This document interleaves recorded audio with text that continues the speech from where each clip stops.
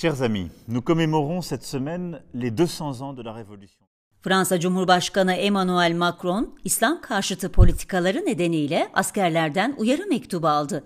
20 emekli generalin de aralarında bulunduğu askerler, Macron'un büyüyen kaosa müdahale etmediği takdirde iç savaş çıkacağı uyarısı yaptı.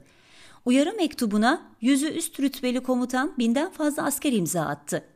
Macron'u uyaran mektup aşırı sağcı Şimdiki Değerler adlı internet sitesinde yayımlandı. Irkçılık ve dekolonizasyon gibi terimlerin Fransa'yı tehdit ettiği belirtilen mektupta bu söylemlerle ırkçı bir savaş istendiği ifade edildi.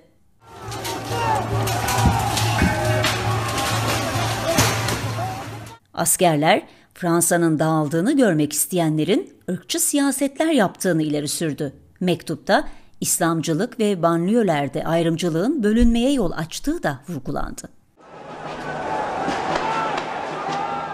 Tehlikeler büyüyor, her geçen gün şiddet artıyor ifadelerinin kullanıldığı mektupta artık ağırdan almaya vakit kalmadı.